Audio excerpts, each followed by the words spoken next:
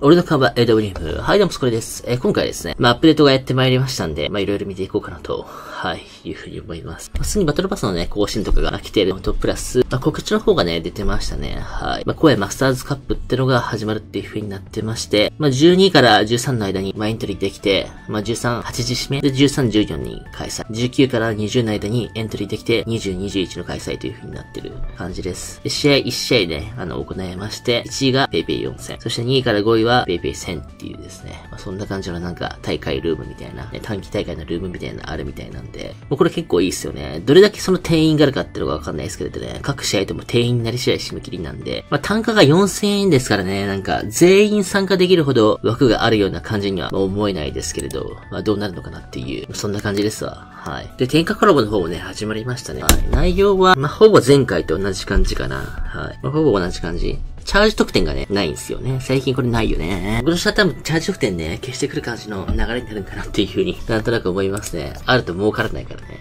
少しずつまあ、一回ね、金券の方はあの、ストアで値上がったんで、特典とか実装してごまかしてましたけれど、再び絞っていくっていうスタイルで今年はやっていくんだろうな。少しずつ絞っていこうみたいなね。ま交換使ってまあなんか、いろいろ交換できればいいねって感じですよね。200で M4 とかも交換できるんで、まあ自分持ってるんであれなんですけれど、そこはまあ、いいのかなというふうに思いますね。はい。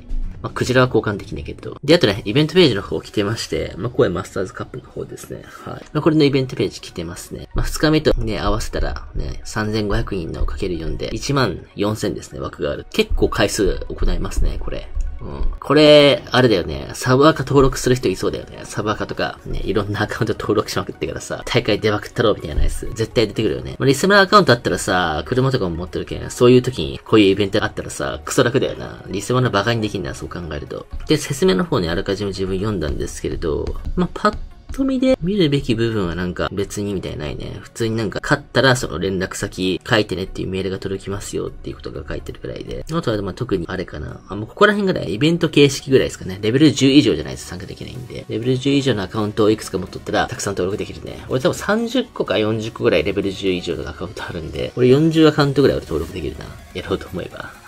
絶対副アカ登録するやつおるよな、これね。で、試合の仕様で言うと、イベントページから試合ルームの方に振り分けられて、ルームが作成された後、10分後に自動開始できると。なんか自分のその、時間が決まってってる感じではなさそうだな。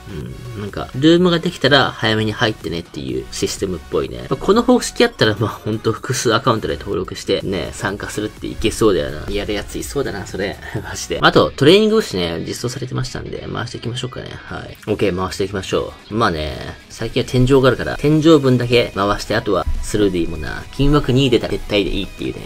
楽なもんで、枠だけ決めて OK っていう。まあ、早速回していきましょう。あ、これ多分あれだろう。金の演出やろう。10連目で金木なんだ。枠早速使っちゃったね。おこの方式になってるんだ。あ、いいね。これめくるタイプの方がやっぱいいよね。なるほどね。これで、とりあえず金チキ1枚と。これでもね、1枠使っちゃうんだよな。うん。これページ更新せんとさ、わからんのがあれだよね。おおおおおまた金負けてた。20連で金にはうまいね。俺もこれで止めていいよ。ねえ、基本さ、あれだもん。そんななんか、回す必要ないからね。あ、でも回すか。とりあえずだって90年分ですね。いやー、回すか。お、また、また金額じゃん。俺めっちゃ運いいね。2%だからね。2%でこんだけ出すのはだいぶいいんじゃない？車。車は、いらないですね。はい。うまいね、車。だいぶ美味しい。まあ、これ当たってないと。当たってる時も分かりやすいね。あ、分かりやすくていい。逆に。お、いいね。わかりやすくて。マジすぐ終わる。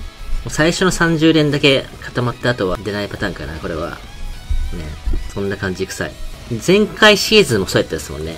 最初にババンって出て、あともう微妙です、みたいな流れだったんで、今回もそんな感じかな。これぐらいでいったっしょ。あと10連か。ねまあそういう演出という風になってますね。まあ3でよかったわ普通に。あとなんか、あれなんですよね。レジャー、公式のね、よくわからんレジャー覗いたやつ、こうやって見るとさ、団体競技場消えてんだけど。マジで。絶対ミスってるよね、これね。絶対ミスってる。どういうバグなの？マジで。どうミスったらそんなことが起きるんだ？レジャーの一覧で、すべてのモードじゃなくてですね、公式にすると出るんですけれど、いや、ないんですけれど、団体。メインストにあるわけ。メインストは関係ないもんな。意味わからないやつが出てくるだけやもんな。公式開いたらさ、団体ないんすけれど。マジ。いやー、やってるね、これ。